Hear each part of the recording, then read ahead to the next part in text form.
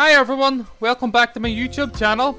So I have decided to upload a project that I have built about two years ago, three years ago.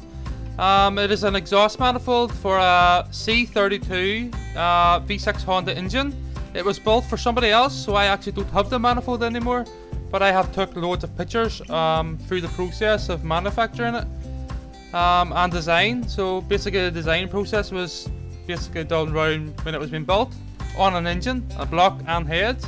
So you can see here at this point um, I was um, matching uh, flange up to the head of the Honda.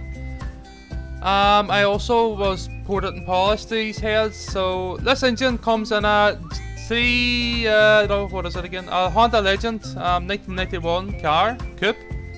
So uh, performance manifolds or exhaust manifolds can't be bought for these cars. Um, the engines in these cars sits um, longitudinal, so they sit sort of like uh, backward drive, and I have uh, uh, converted it. They sit uh, transversely, so it sits like a front wheel drive car engine now, and I have modified a K series box onto it, and I needed to make up a uh, manifold. So this is the process.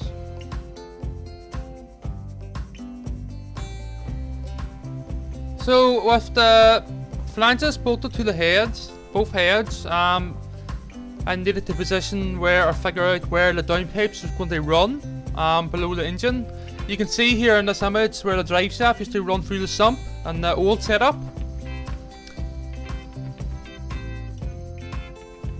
As it's a V6 engine, we required six downpipes. Um, they were all bent in nice shape, uh, roughly 90 degrees bends. Uh, this is the first one tacked on. So not only is this tacked on, it is chamfered to suit the oval at the end of the tube itself. So you can see here at this point, um, one side um, is nearly finished. So there has to be two of these. Um, obviously they're not going to be identical, but similar. So there's three downpipes leading into a two and a half inch uh, downpipe. This will uh, have a flange on it.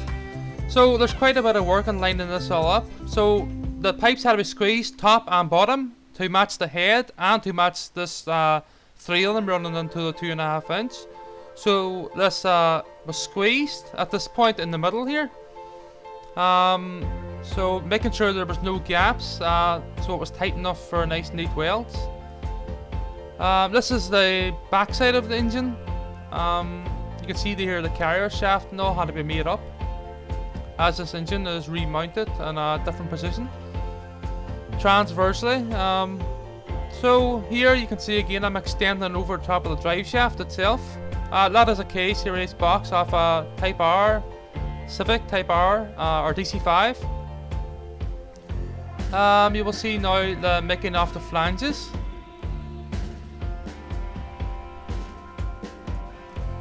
So here at this point you can see um, the three of them uh, brought it together.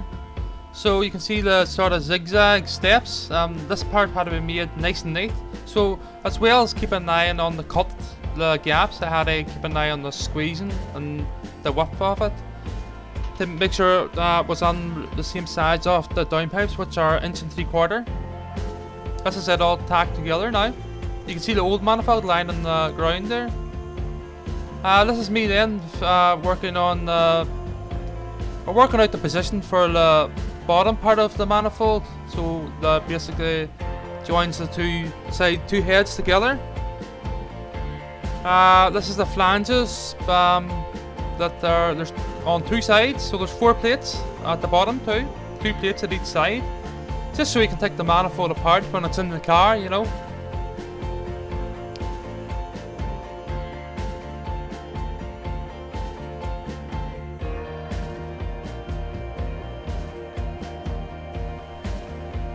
This is me making the lower end of the manifold. So this is this manifold actually runs inside that two and a half inch to keep a nice sharp curve.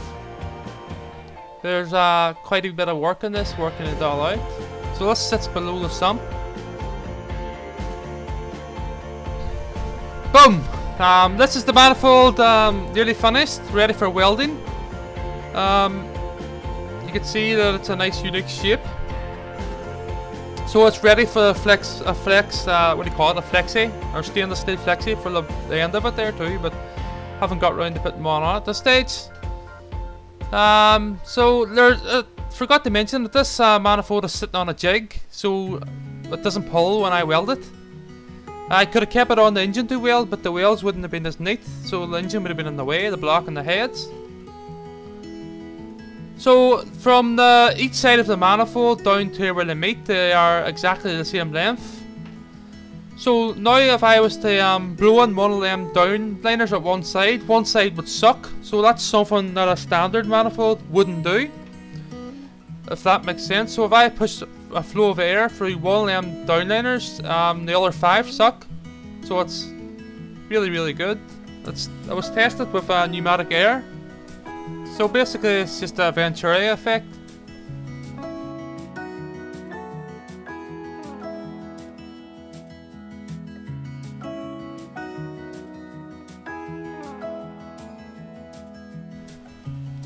So this is probably one of the nicest pictures of the exhaust um, when it was finished, well before it was welded, um, mounted to the jig.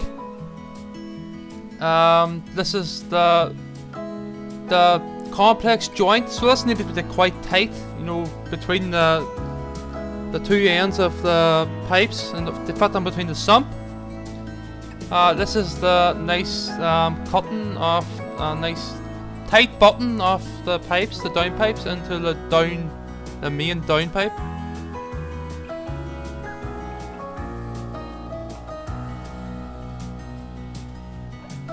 Uh, ready for welding soon. Lots of pictures. I took lots of pictures of this manifold. I don't know why, but I just did. A lot of work, I think, was involved in it. So that's me looking down on it um, just before I start welding it, I think. Okay, so this is it, um, more or less, start welding one side quite tricky and quite tight to get around some of these places, you know, there where they meet at the fork at them two points. Um, obviously it's not welded um, like that. Um, it was welded in the jig. That's me with it took out off the jig. Uh, the tighter you get them, there be no gaps, the neater the welds like so can also see extenders in there. Let's dig over the top of the, keep the bends away from the drive shaft itself. Uh, this is the manifold lying on its side with the flexi and the flange on it. So as I said at the start of this video, you can't buy these manifolds for this engine because these, this engine sits the complete opposite direction. Uh, it sits perpendicular to the way it sits at the minute. Uh, another picture on top of a piece of ply. Got it finished.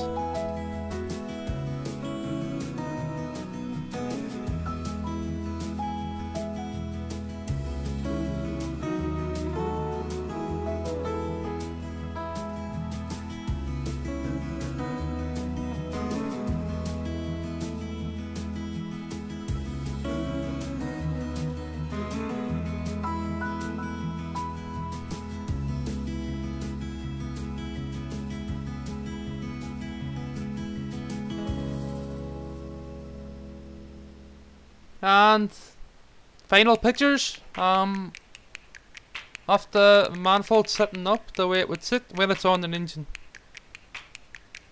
Uh, close up of the complex joint. So this joint actually flows into the other pipe a little bit, about a quarter inch or half inch, just to keep that unique C shape, the flow in the same direction as the flow passing. Rather than causing obstruction, you know, them rebounding off each other.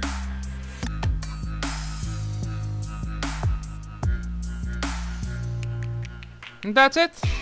Thank you for watching. It was uh, just a short video to show another project before I up, uh, upload uh, more sophisticated projects in the future. Bye bye!